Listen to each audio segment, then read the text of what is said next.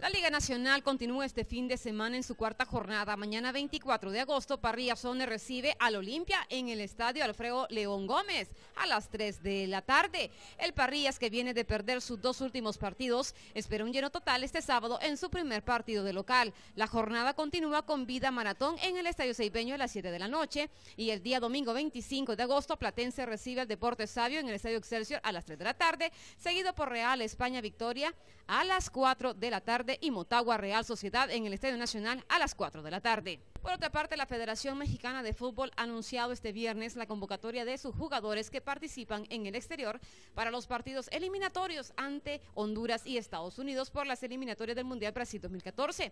Los legionarios convocados han sido Giovanni Dos Santos del Villarreal, Javier Aquino de Villarreal, Héctor Moreno del Español, Héctor Hernández del Porto, Diego Reyes de Porto, Javier Chicharito Hernández del Manchester United, Andrés Guardado del Valencia. México recibirá a Honduras el 6 de septiembre en el Estadio Azteca y luego visitará a Estados Unidos.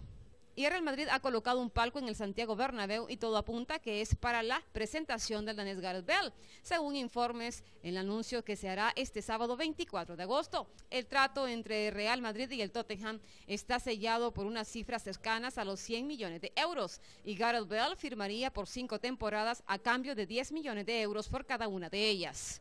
Por otra parte, Messi no jugará el próximo domingo en la Rosaleda. El futbolista va a estar cinco días de baja y nadie piensa en arriesgar lo más mínimo con Leo.